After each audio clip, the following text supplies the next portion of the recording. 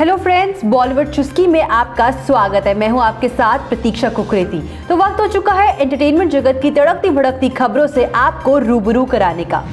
Income tax विभाग ने बॉलीवुड अभिनेता शाहरुख खान का फार्म हाउस किया जब्त। आयकर विभाग ने अभिनेता शाहरुख खान का अलीबाग फार्म हाउस अस्थायी रूप से जब्त कर लिया है।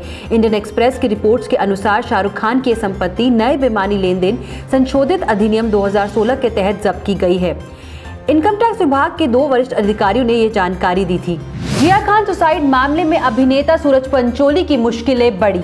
बॉलीवुड अभिनेत्री जिया खान सुसाइड केस में अभिनेता सूरज पंचोली पर आरोप तय हो गया है। मुंबई की एक सत्र अदालत ने अभिनेता सूरज पंचोली पर जिया खान को आत्महत्या के लिए उकसाने के आरोप में केस चलाने का आदेश दिया है। न्यायाधीश के डी शिरभाटी ने सूरज पंचोली पर आईपीसी की धारा 306 के तहत आरोप तय किए हैं। भारत के बाहर भी पद्मावत की रिलीज़ पर सवाल उठे। भारत में काफ़ी विरोध के बाद रिलीज़ हुई विवादित फ़िल्म पद्मावत को अब इस्लाम की संवेदनशीलताओं की चिंताओं के मद्देनजर मलेशिया के सिनेमा घरों में प्रदर्शित होने से रोक दिया गया है। मलेशिया के नेशनल फ़िल्म सेंसरशिप बोर्ड ने फिल्मकार संजय लीला बंसाली की फ़िल्म पद्मावत की देश में रिलीज़ पर रोक लगा दी है। आज है बॉलीवुड अभिनेत्री प्रीति जिंटा का बयालीसवा जन्मदिन।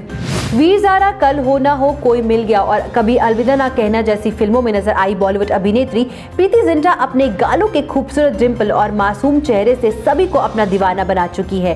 उन्होंने बॉलीवुड को कई बेहतरीन फ़िल्में दी हैं। वह तेलुगु, तमिल और पंजाबी फ़िल्म उद्योग का जाना माना नाम है। उन्हें उनकी फ़िल्म दिल से के लिए बतौर सर्वश्रेष्ठ नई अदाकारा फ़िल्म फेयर अवार्ड से नवाजा गया।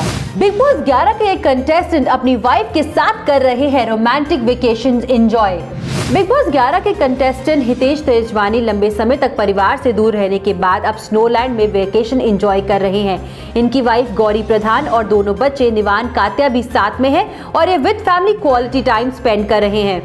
तो ये थी एंटरटेनमेंट की आज की खबरें। देश विदेश की तमाम बड़ी खबरों के लिए आप लॉग इन करें डब्ल्यू